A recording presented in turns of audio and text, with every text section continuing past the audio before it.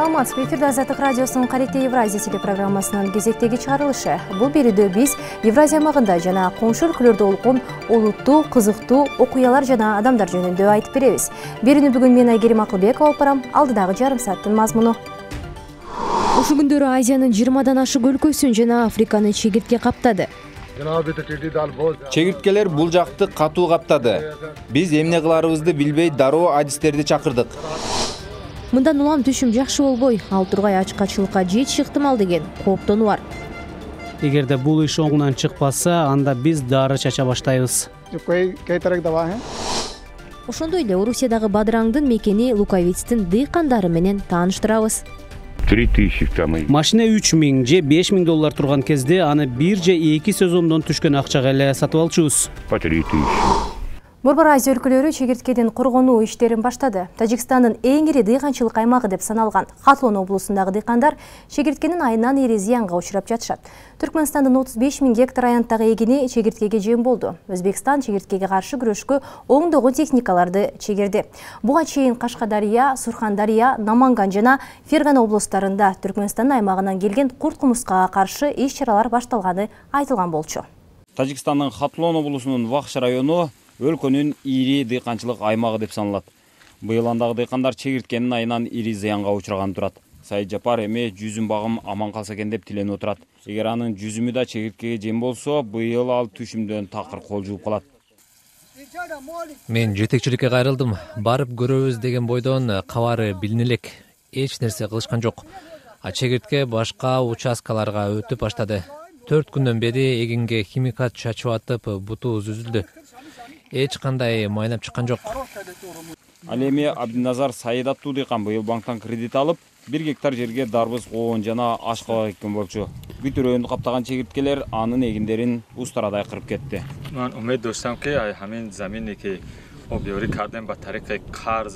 Мен быйыл жакшы түшүм алып жакшы пайда көрөм деген үмүттө жүрдүм эле. Үмүтүм да эмгегим да талаага кетти. Эгиндин сексен пайызынан айрылдык. Мен бийликтен жардам сурайм. Жок дегенде жыйырма пайызын сактап калууга жардам берсин буга чейин жайнаган чегирткелер хатлон облусундагы жүз гектар жайлоону сыйпап бүткөн мурдараак тажикстан бириккен улуттар уюмунун алдындагы агенттиктердин колдоосу менен миңдеген гектар жерлерди зыянкечтерден тазалап турчу бирок акыркы мезгилдерде мындай иш чаралар токтоп калган чегиртке байкалган химиялык дарылоону талап кылган райондорду аныктап чегирткелерди жок кылуу чаралары көрүлүп жатат. Мурдараак чегирткеге каршы күрөш кашкадария сурхандария наманган жана фергана облустарында жүрүп жатканы кабарланган бүт өзбекстан боюнча алты жүз миң гектар айдоо жерлерди дарылоо пландалып жатканы чегирткеге каршы күрөш июнь айына чейин уланаары кабарланган эле. Ал эми кашкадария облусунун нышан гүзар жана дыйканабад районундагы фермерлер быйыл чегирткелер май айынын башында түркмөнстан тараптан каптап келгенин билдиришкен эле азаттыктын түркмөн кызматынын кабарчылары да өзбекстан менен чектеш лебап районунда быйыл чегиртке көбөйгөнүн ырасташкан лебап облусунун керкин районунда буудай күрүч жана пахта эгилген отуз беш миң гектар жерди зыянкечтер курутуп кеткени алтынчы майда кабарланган ушул күндөрү азиянын жыйырмадан ашык өлкөсүн жана африканы чегиртке каптады бул өлкөлөрдө дыйкандар ковид он тогуздан корголуп карантинде отурушат мындан улам эгин талааларын каптаган чегиртке менен күрөшкөн эч ким жок пакистанда түшүм жакшы болбой азык түлүк тартыштыгы пайда болуп ал тургай ачкачылыкка жетиши ыктымал деген кооптонуу бар. Кийинки сюжеттен көрөлү. Пакистандын көпчүлүк дыйкандары пахта кант жана күрүчтүн жайкы айдап себүүсү жүрүп ошондой эле мөмө жемиш жана жашылча жыйналып жатканда чегирткелердин чабуулуна кабылганын коронавирус пандемиясынан да чоң көйгөй көрүшөт чегирткелер бул жакты катуу каптады. Биз эмне кыларыбызды билбей дароо адистерди чакырдык. Дээрлик жарым сааттын ичинде айыл чарба министрлигинин кызматкерлери жана аскерлер келип баардык аймакка дары чачышты. Ошентип түшүмүбүздү чоң зыяндан сактап калдык. Мындан улам фермерлер миллиарддаган доллар зыянга учурап жана анын кесепетинен өлкөдө узак мөөнөттүк азык түлүк тартыштыгы болушу мүмкүн деген кооптонуу бар. Чегиртке коркунучу коронавируска караганда бир нече эсе кооптуу мен вируска караганда жүз эсе миң эсе кооптуу деп айтар элем. Коронавирус менен күрөшүп жатканда элде эгин даан жашылча жемиш жана башка азык бар болчу. Жакында эле улуттар уюмунун азык түлүк программасы даярдаган баянда чегирткеден улам ачкачылык болушу мүмкүн экени айтылат. Мындан кудай сактасын. Бирок өкмөт тез арада элди кабардар кылышы керек жыйырма алтынчы майда исламабадта өткөн маалымат жыйынында пакистандын табигый кырсыктарды жоюу боюнча улуттук кызматынын жетекчиси мухаммед афзал алдыда пакистан дагы эки кырсыкка чегиртке менен суу ташкынга кабылаарын эскертти азыр каптаган чегирткелер башка жактан келген жок анткени былтыр кышында белужистанда катуу кар жаап иран менен африкага учуп кете алышкан жок алар жумурткасын таштап пакистанда кыштап жазга чейин көбөйүштү июнь айынын биринчи жана экинчи жумаларында биз үчүн коркунуч коңгуроосу кагылат анткени азыр иранды жана мускатты каптаган чегирткелер пакистанга карай бет алышат аларга каршы күрөшүү үчүн тигучактарды ар кайсы жерге койдук алардын көбү чөлдөрдө пакистан өкмөтү чегирткеге каршы улуттук борбор түзүп андан жабыркаган элүү райондо чегирткеге каршы операцияны координациялаган айыл чарба департаменти азык түлүк коопсуздугу башкармалыгы жана пакистан армиясы активдүү иштеп жатышат. Бүгүнкү кырдаалда чегирткелер ар тараптан белужистан синд пенжаб тараптан чабуул жасап жаткандыгына күбө болдук манго дарактарынын жалбырактары жылаңачтанып бутактарга илинген жемиштерди көрүп таң жүз элүү эки жүз элүү чакырым аралыкты учуп өтөт дыйкандар күндүз аларды добулбас кагып үркүтүп турушат бирок түн ичинде караңгы түшкөндө курт кумурскалар отурукташат пахта жүгөрү талаалары талкаланып жатат баардык түшүм жок болууда премьер министр буга олуттуу көңүл бурушу керек. Операцияга табигый кырсыкты башкаруу боюнча мекеменин бир жарым миң кызматкери тартылган ошондой эле беш миң аскер кызматкери алардын бир миң беш жүзү өлкөнүн ар кайсы аймактарына жөнөтүлгөн. Темага эле миллиондогон курт кумурскалар индиянын айыл чарба талааларын каптап кетти. Эгер индия тийиштүү чара көрө албаса миллиарддан ашуун эли бар өлкө ачарчылыкка кептелиши мүмкүн. Индиянын түндүк аймактарын он миллиондогон чегиртке каптады. Азыр бул өлкө коронавирус менен гана эмес айыл чарбасын талкалаган курт кумурскалар менен да күрөшүүгө мажбур болуп турат индиянын дыйкандары менен адистеринин тынчын кара таандай каптаган чегирткенин жаңы толкуну тынчсыздандырып турат. Алар бийлик бул маселени чечпесе муссон жамгыры башталгыча күрүч камыш жүгөрү пахта жана соя себилбей калат деп отурушат. Индия өкмөтүнүн жана айыл чарба адистеринин пикиринде чегиртке өлкөнүн жети штатындагы отуз беш миң гектар аянтты каптап жашылча жемиш жана буурчак өсүмдүктөрүнө коркунуч жаратууда. Биз мындай даярдыкты чегирткелердин шаарга кирүүсүнө жол бербөө аргасы үчүн көрүп жатабыз. Айылдыктар доулбастар жана башка катуу үн чыгарган шаймандар менен отурушат. Эгерде бул иш оңунан чыкпаса анда биз дары чача баштайбыз. Канчалык чыгым болбосун өкмөт жана айыл чарба адистери чегиртке түшүмгө олуттуу залакасын тийгизбейт деп эсептешет. Себеби азыр индияда бышкан түшүмдү жыйнап жайкы себүүнүн ортосундагы маал. Бирок адистер жайкы эгинди сактап калуу үчүн алдыдагы эки жумада чегирткени токтотуу зарылдыгын белгилешет. Жыйырма алтынчы майда индиянын чакан сехор шаарынын бийлиги элди чегирткени кубалоо үчүн музыкалык аспаптардан жана үйдө болгон нерседен катуу үн чыгарууга чакырышты.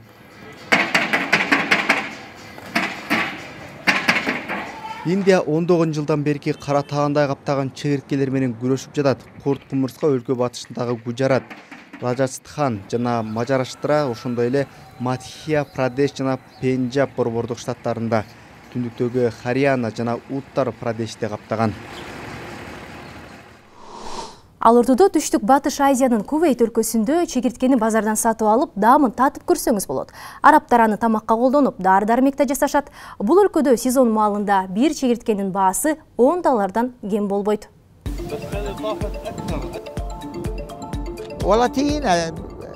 10 хияш бизде менен 20 баштық қалды. ар бир баштыкта 20-30дан орточо шегіртке салынған. биз анын ар бир даанасын 2-3 динарга сатабыз ал эми суроо талап өскөндө кичинекей чегирткенин баасы 5 динарга чейин жетет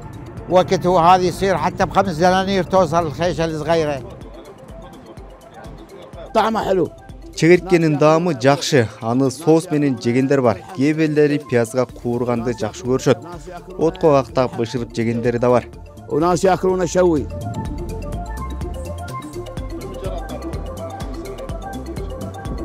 الدواء وصل من الجراد чегирткеден дары жасагандар да көп себеби алар адамдын ден соолугуна пайдалуу чөп жар менен азыктанышат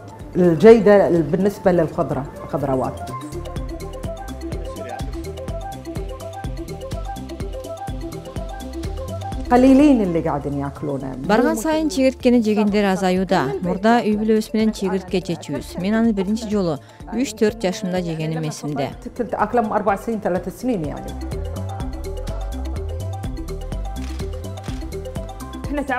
биз жегенге көнүп калганбыз анын даамы дагы деле эсибизде бирок биздин балдар кантип курт кумурска жейбиз дешет алар жешпейт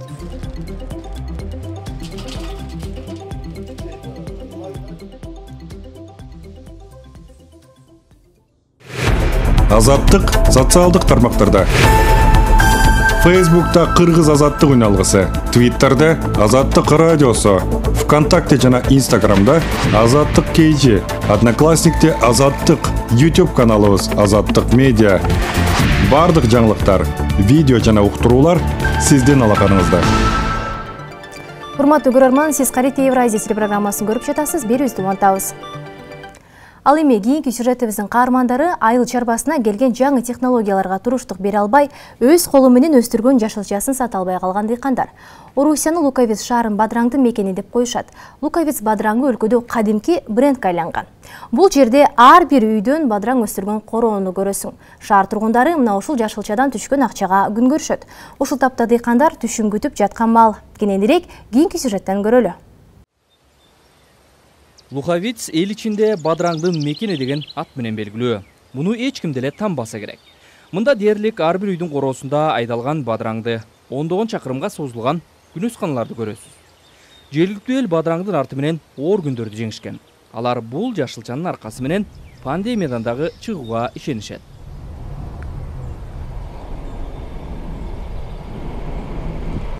Луховиц бадыраңдары эбак эле таанымал брендке айланган. Ошондуктан кардарларга бадыраңдын дарегин гана айтып коюу жетиштүү.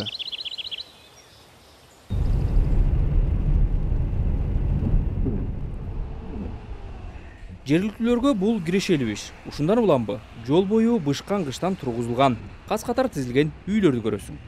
Бул үйдү катардагы эле жыйырма сотук короосу бар үй бүлө курган экен Можно было у нас за сезон машину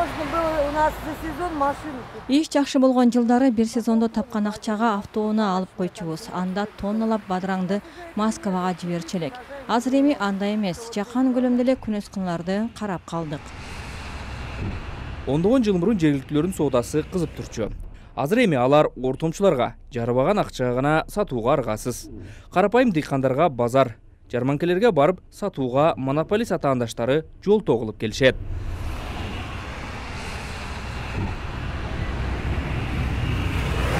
Он эле жыл мурун луховицтин келечеги кең көрүнчү ал кезде бул шаарга өлкөнүн булуң бурчунан ишкерлер көчүп келе башташкан. Алар ири күнөсканаларды курушкан андан кийин бул аймакка ири агро фирмалар дагы кызыга баштаган. Ошентип жакан шаардын айыл чарбасында өзгөрүүлөр башталып бадыраң өстүрүүдө жаңы технологиялар ишке кирген. Бул баарын кол менен жасаган карапайым дыйкандарга күтүлбөгөн сокку болду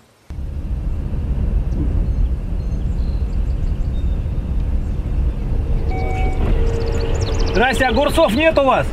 Еще их и нет. А, все, понял. Только редиска пока. Понял. А вон продают что-то огурцы. Продают. Только откуда? С базы.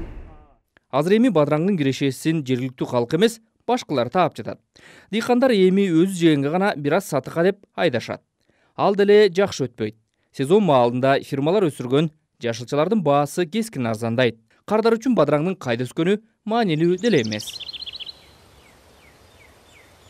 луковицтин жаратылышы көз талдырат бир тарабынан ока жана вобля дарыясы агып өтөт жумшак климаты бадыраң үчүн өзгөчө жагымдуу. Луковицтеги өзүнчө бир сыр бар псотина айылы. Бул жердин бадыраңдары эң даамдуу деп саналат. Бул жерде биринен сала бири узатасынан тизилген кас катар күнөскаларды көрүүгө болот.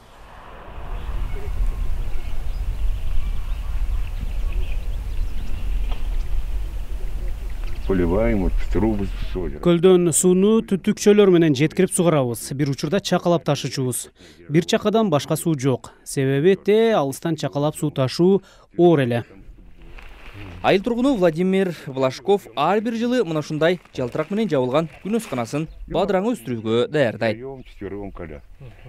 Уруктарды айдалган жерге үчөөлөп кээде төртөөлөп сээп чыгабыз. И вы всю жизнь, да, вот... э, өмүр бою эле ушу менен алектенесизби баарын таштап салгыңыз келген учур болду беле? Так есть, так мы его сажаем всю жизнь. жок өмүр бою жер айдап жүрөбүз. Короо жай болгондон бери бадыраң өстүрүп жүрөбүз. Жетимиш үчүнчү жетимиш сегизинчи жылдан бери. Мына азыр да май майрамына карабай үй бүлө мүчөлөрү керел кечке тыным алган жок. Азыр мында иш кызып жаткан маалы айдалган жерге урукту сейбүү керек. Бир айдан кийин эле айтылуу луковиц бадыраңы өсүп чыгат. Вон они, дырочки. Вот, здесь вот скворачки. владимир влашковдун колу кара жумушка бышып бүткөн. Мына ушул жыйырма сотук жерин ал баш айдап коет жаш кезинде эртеден кечке иште. Кечкисин өз жеринде да үлгүрчү. Ал учурда бадыраңдын наркы жогору эле. Сатыктан түшкөн каражат бир чоң үй бүлөнүн кем карчысын жаап ал тургай ашчу экен.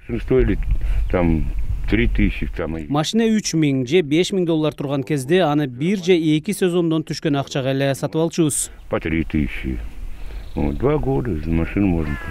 Это не есть не пить только с одного огорода, если ты. ал жылдары ушул сыяктуу бир солдон эле жакшы түшүм алып коюшчу апта сайын унаасына жүктөп алып барып башка шаарларга сатып келчү владимирдин кыздары светлана жана елена бала кезден атасына соода сатык иштеринде кол кабыш кылышчу анда луковиц бадыраңдары ысык токоштой тез сатылып кетчү бир күндө жарым тоннага чейин өтүп кетчү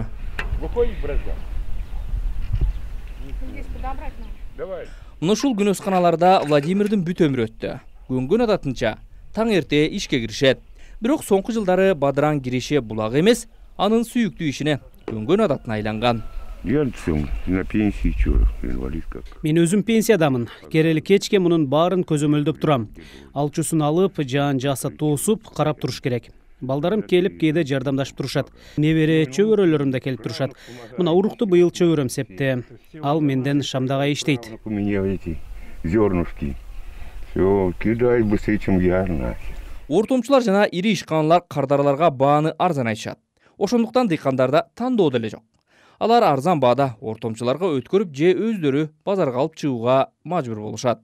Бирок адатта базарда ал өңдүү бадыраңды сата албай отурган дыйкандар көп. Ал эми мурдагыдай башка шаарга барып сатып келүү пайдасы жок. Владимирдин эки кызы тең шаарда иштеп ошол жакта турушат. Ошентсе да канча жылдан бери майда алар атасына кол кабыш кылганы келишет.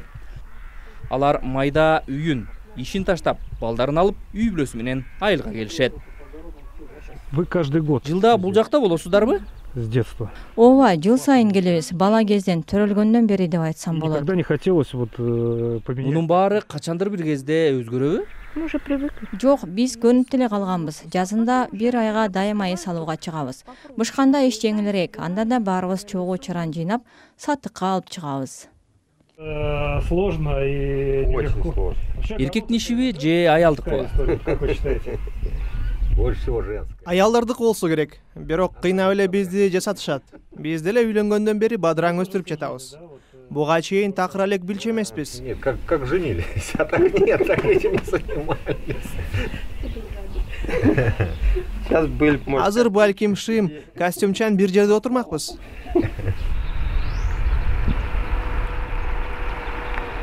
кымбат автоунаа же үй жайды луковицтин тургундары бир учурда бадыраң сатып эле алып коюшчу. Бүгүнкү күндө анын кирешеси баштагыдан бир топ эле азайды. Жашылча саткандардын түшкөн акчасы кем карчыны жапканга өп чап жетет Огурцы все сажают. э, бадыраң өлкөнүн баардык аймактарында өстүрүлүп сатылат. Бирок дал ушул жердики гана даамдуу деп эсептелет. Себеби эмне? по всей России. Можете они теплее. аны деле билбейт экенмин менимче күнөскана же жабык жерде өскөн жашылчалардын даамы такыр башка ал деген ачык күн түйгөн жерде өсүш керек да бул желим баштыкты мен деле бир аз туруп алып коем алар ачык асман алдында таза абада өсүшөт кичинесинен жер түйшүгүн жакшы билген луковиц шаарынын дагы бир тургуну агрономдун окуусун окуптур бул адистикке адеп колледжде. Кийин академияда окуган жигиттин достору бир топ эле шылыңдашкан агроном андай кепке көңүл бурбай өз ишин уланта берген луковицке ири агрофирмалар көчүп келе баштаганда билими бар жаш адис павел ишсиз калган эмес. Азыр ак халатчан адис бадыраңды зыянкечтерден коргоо үчүн такай көзөмөлдөп турат. Установочная 22. жыйырма эки жыйырма төрт градус жылуу болот. Жашылчалар жыйырма эки градус жылуулукта кармалат. Вентиляцияны эске алып дагы эки градуска көтөрүп коебуз. Жайкысын күн ысыганда жыйырма сегиз отуз градус болуп кетиши да мүмкүн. Да, в принципе и зимой. ошондой эле кышкысын деле үстүндө кадимкидей лампалар күйүп турат. Себеби ал жакка натрий лампасы коюлган. Экономия на солярии. күнөсканага кирүү үчүн биз адегенде коргоочу костюмду кийип колубузду тазаладык ошондон кийин ичине киргизишет. Айтмакчы мунун баары коронавирус коргонуу чаралары эмес. Тынч күндөрү деле күнөсканага кирген коноктор анын ичине бактерия же кайсы вирусту алып кириши мүмкүн. Бадыраңдын башкы душманы ким Много, если честно. курт кумурска ар кандай бактериялар Белокрылка, трипс. А, По болезням это сам как с- страшное, не страшно, мучнистая роса. бул күнөскана шаарчасы луковицкинин ээн талаасына эки миң он төртүнчү жылы келген экен ал жылдары орусияга азык түлүк алып кирүүдө санкциялар колдонуп бир топ инвесторлор бадыраңды өстүрүүгө каражат салышкан ошентип ээн талаларда голландиянын ыкмасын тагыраагы жаңы технологияларды колдонгон күнөскана пайда болгон. Кубики. Высеваем растение, семечко, выращиваем до определенного. урукту сепкенден кийин канча бир маалга чейин өстүрөбүз. Андан кийин гана аларды күнөсканага которобуз. Мына сугаруунун да өлчөмү бар. Тамчылатып сугарыш керек. Мунун баарын компьютер аркылуу көзөмөлдөнөт. Демек ашыкча же жетпей калган учур болбошу керек павел азык түлүк коопсуздугу боюнча адис ал күнөсканада өскөн бадыраңдын зыяны жок экенин белгилейт эч кандай дарысыз өстүрүлөт дейт Если брать кто на огороде, навозиком. тескерисинче үйдөгү короодо өскөн бадыраңда көбүрөөк нитрат болушу мүмкүн себеби алар канча көлөмдө азот берилгенин көзөмөлдөй алышпайт Чаще всего, что на огороде будет нитратов больше, чем даже в теплице.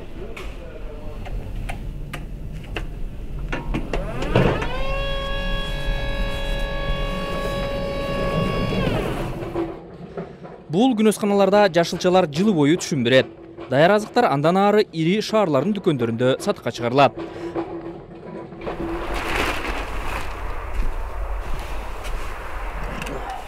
Пандемияда көбү ишсиз үйдө отуруп калган чакта павелдин үй бүлөсүн бадыраң багып жатат жаш адис топтогон акчасына ушул чакан үйдүн курулушун баштаган экен. Анын келинчеги дарья мектепте мугалим болуп иштейт. Жаш үй бүлөнүн баласы бар. Я бы могла сказать, что с грядки, конечно, огурцы всегда они вкуснее. мен дайыма короодо өскөн бадыраңдар даамдуураак деп ойлочумун аларды үзүп эле жей бересиң да көлөмдөрү да ар кандай мага кичинекей өлчөмдөгүлөрү абдан жагат Большие, среднеплодные. Мне нравятся, которые маленькие.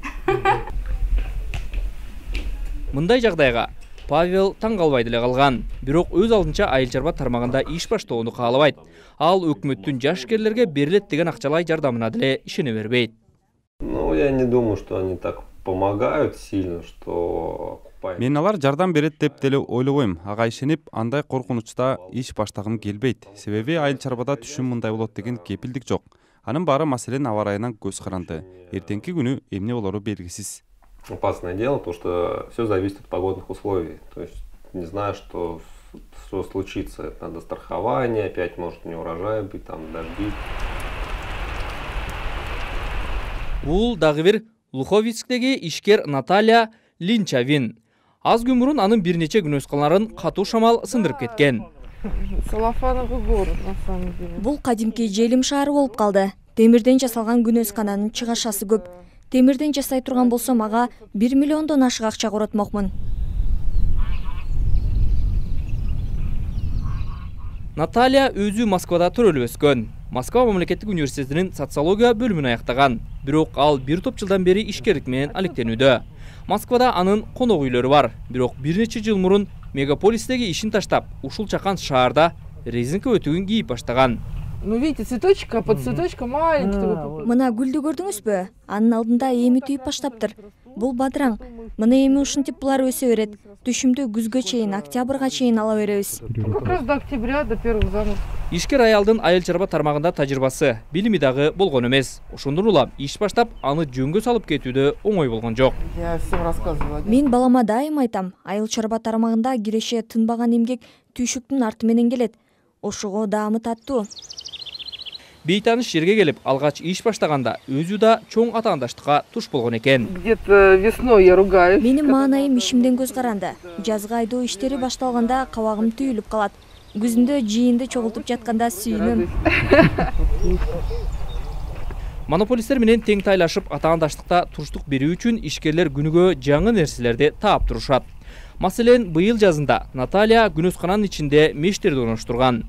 Жылуу температура бадыраңдын өсүшүнө жагымдуу жагдай тартуулайт. Вот, на эти теплицы мы специально их грели. Күнөзкананын ичин атайын жылытканбыз андан кийин жашиктерди эки каттан ороп чыкканбыз жылуу аба сакталып турушу керек. Вот. Это, конечно, дополнительные затраты, но зато это, ну, как бы раньше на две недели.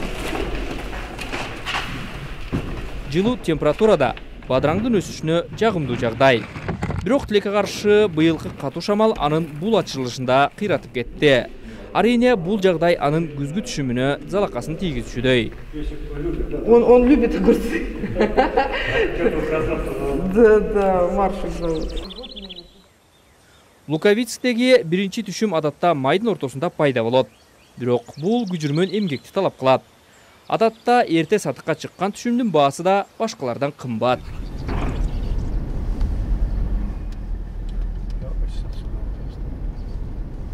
коронавирус пандемиясына байланыштуу кардарлардын дээрлик баары азыр үйүндө мындан улам дыйкандар өстүргөн жашылча жемишти ала турган адам жок бул жылы киреше такыр болбой калышы да мүмкүн бирок ага карабай бадыраң өстүргөндөр мурдагыдай арбын. Наталья луковиц кардарларды алдаган соодагерлерден улам бул өсүмдүктү көпчүлүк албай калат деп тынчсызданууда анын айтымында луковиц бадыраңы деп айтса аларман көбөйөт сыртынан бирдей бирок даамы ар башка базардан таза өстүрүлгөн бадыраңды адашпай тандап алуу дээрлик мүмкүн эмес жергиликтүү тургундар луковицтин бадыраңы тиштегенде кырсылдап турат дешет. Ошентип луковицке келип аты алыска кеткен бадыраң бренди кандай шартта өсөөрүн өз көзүбүз менен көрдүк коронавирус кризиси да табиятка каршы чыга албаса керек. Эч нерседен коркпогон дыйкандар талыбай жашылча жемиш өстүрүү менен алек бадыраң да жалпайып берекелүү өсүп жатат алар эми жакында түшүм жыйналып базарга сатыкка чыгат эң башкы маалда дыйкандын маңдай терин төгүп өстүргөн жашылчасын сатып алып алар кубанычка бөлөнгөнгө шарт болсо экен деп тилейли.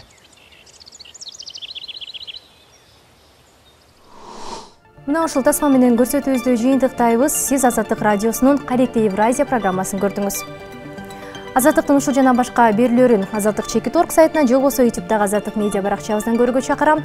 Берүүнү бүгүн мен айгерим акылбекова алып бардым. Аман болуңуздар.